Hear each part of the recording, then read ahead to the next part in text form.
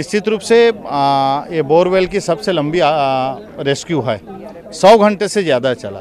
सबसे पहले तो उस बच्चे के जो आत्मबल है उसको मैं आ, नमन करता हूँ क्योंकि पाँच दिनों तक वहाँ रहना और उसके बाद स्वस्थ निकलना ये उसकी आत्मबल की पहचान है।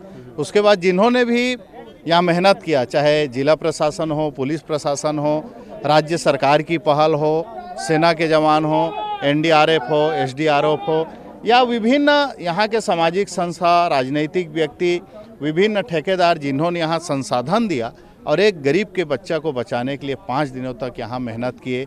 आप लोग भी पूरे मीडिया के लोग भी पूरे पाँच दिन तक न धूप देखे, न गर्मी देखे, न कभी नींद लिए। ऐसे परिस्थिति में इस सफलता के लिए जिनकी हम सब लोग कल्पना कर रहे थे, जिसके लिए दुआ दे रहे थे, आज वो राहुल साहू हमारे बीच में स्वस्थ होकर के निकला। मैं सभी लोगों को हृदय से बधाई देता हूँ, धन्यवाद देता हूँ और निश्चित रूप से ये सफलता आने वाले भविष्य में सभी लोगों के आत्मबल को बढ़ाएगा, आत्मविश्वास को बढ़ाएगा।